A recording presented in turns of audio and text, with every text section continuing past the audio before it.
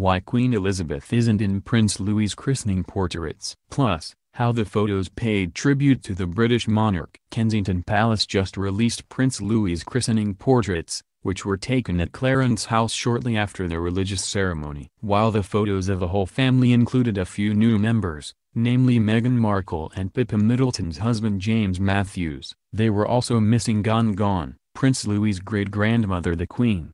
Both the Queen and Prince Philip missed Louis' baptism on Monday, and therefore weren't there for the official portraits marking the occasion. According to the Press Association, the decision, for the Queen and Prince Philip to miss Louis' christening, was not made on health grounds, Buckingham Palace says, and it is understood to have been mutually agreed by the Queen and the Cambridges some time ago. Hashtag breaking Both the Queen and the Duke of Edinburgh are to miss Prince Louis of Cambridge's christening. The decision was not made on health grounds, Buckingham Palace says, and it is understood to have been mutually agreed by the Queen and the Cambridges some time ago.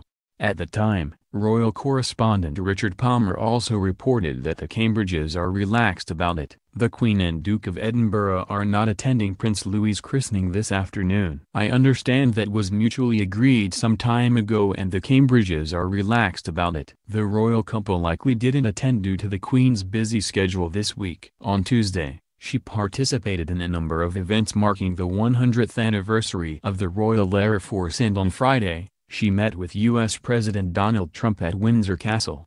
That said, photographer Matt Holyoke did include a hidden tribute to the British monarch in Louis' official christening photos. Just over Michael Middleton's shoulder is a portrait of the Queen. This isn't the first time a member of the royal family missed a christening. Prince Harry was not at Princess Charlotte's christening back in 2015. According to People, he was in Africa at the time, working with endangered animals in Namibia.